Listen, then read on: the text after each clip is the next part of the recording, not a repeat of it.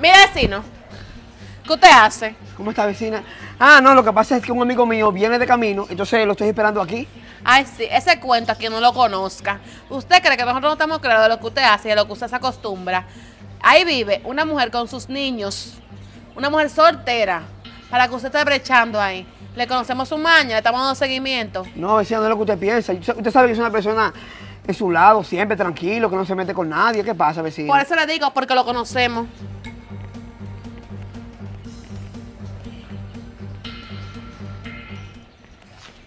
Hey, vecina. Hola, vecina. ¿Y usted cómo está? Bien, ¿y ¿Y los niños? ¿Están bien? Mira que yo pensé que usted estaba en su casa. No, yo salí un momentico. Tiene que tener cierto cuidado con el vecino Marcos, que lo vi ahí acechando en su casa. Sí, pero no creo, seguro me buscaba porque Marco es un hombre muy bueno. Bueno, usted sabe todos los cuentos que hay de Marcos aquí en los residenciales. Ay, vecina, déjeme su chisme. Por eso que usted siempre vive sola. Yo no estoy en chisme. Bueno, yo solo le digo. Yo no entiendo qué es lo que insinúa la vecina, pero yo no le voy a hacer caso a eso. Ese es un hombre muy bueno y ella siempre vive con un chisme nuevo. No voy a hacer caso a eso. Dígame, vecino, usted que me llama, tiene que algo bueno para mí. José Luis, ¿cómo está la cosa? Bien, dígame. Ah, sí, que te iba a preguntar si tú no tienes una amiguita disponible, un número de teléfono o alguien, porque oye, ¿qué pasa? En verdad me siento solo y tengo la necesidad de tener una mujer. Bueno, vecino, yo creo que en esa yo no lo voy a poder ayudar, ¿no? Ah, Porque yo tengo nada más la mujer mía ahí y no se la voy a poder prestar. Sí, pero, yo pero- le voy a decir algo, yo le voy a decir algo. Usted es un joven, un tipo joven, aparente. Salga a ver si encuentra algo bueno.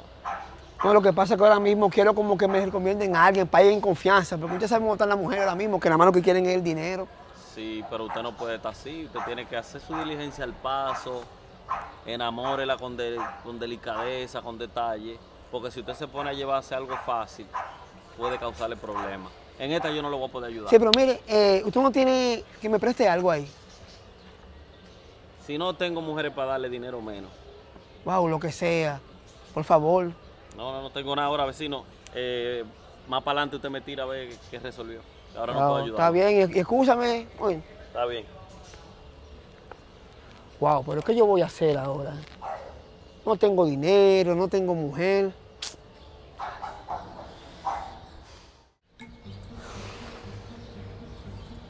Wow, pero ¿qué es lo que yo voy a hacer? Yo estoy solo, necesito a alguien urgente, urgente alguien. Porque es que ya yo no puedo más en verdad. Y la única que está sola es la vecina. Tengo que buscar la forma de pararme en la galería y hablar con ella. Total, ella con quien vive ahí es con unos niños. Sí, déjame ver cómo la convenzo. Ay, sí, mire, disculpe. Yo la estoy llamando porque como sus hijos viven ahí, yo imagino que a usted le interesa que sus hijos estén bien. Y yo a este hombre rondándola demasiado y ya hablé con ella. Sí, pero ella no me quiere hacer caso. Me dijo hasta chismosa. Pero yo simplemente estoy preocupada porque como yo soy su amiga y yo sé que sus hijos le importan, para que usted se dé una vuelta y hable con él. No, ella no me hizo caso. Yo voy a intentar hablar con ella de nuevo, pero ya usted sabe. Ok, como le dije, disculpe por la... Ok. Por lo menos él es más decente que ella, porque ella de chismosa no paso para ella. Pero yo voy a intentar hablar con ella porque de verdad que me preocupa. ¿Qué tú me estás hablando? Oye, no te metas en mi vida. Tú y yo hace tiempo que terminamos y nos dejamos. Déjame tranquila, no te metas en mi vida que yo no me meto en la tuya. ¿Ok? Vecina.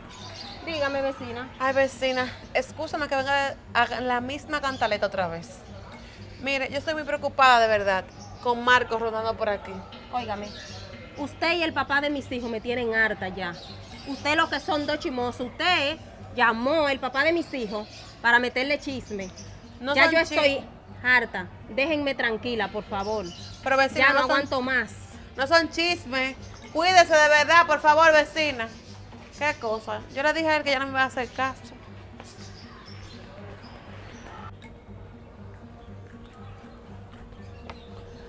Pero ¿y qué será lo que esa mujer está hablando de mí?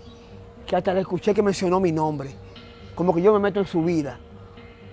Pendiente nada más uno de la vida ajena. Ella siempre está en, lo- en un colmado tomando cerveza y yo cuánto eso. Ni digo nada, ni me importa. Y a mí la que me gusta es la vecina de allí, me gusta la de allí y esa de aquí me tiene loquito.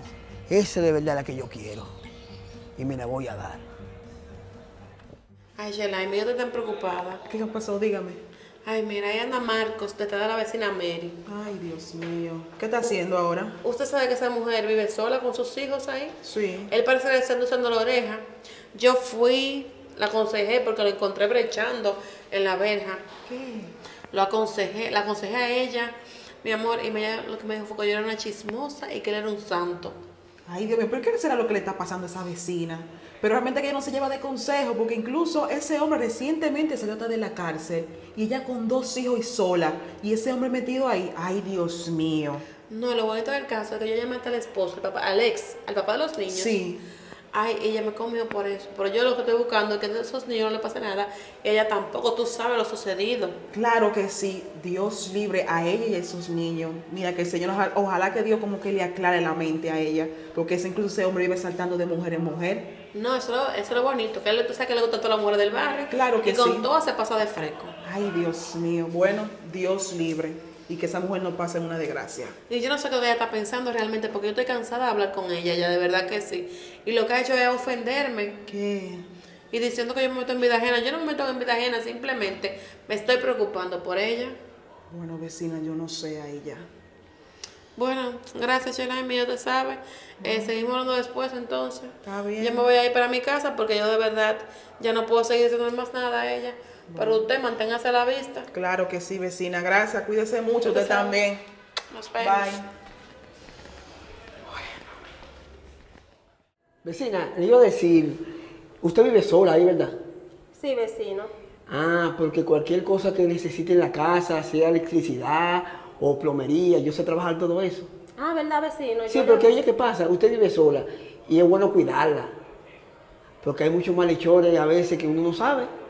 Sí, vecino, pero ya lo tomaré en cuenta. Si usted quiere, usted me brinda un cafecito y ahí hablamos y nos conocemos bien. Sí, vecino, le puedo brindar el cafecito, pero tenga en cuenta que hay unos rumores por ahí. Usted sabe, las malas lenguas. Aunque yo sé que es mentira, pero usted sabe cómo es la gente, ¿verdad? ¿Pero cuáles son los rumores? Andan unos rumores por ahí. Eh, yo les contaré más adelante. Eh, pase al cafecito y hablamos. Ah, está bien.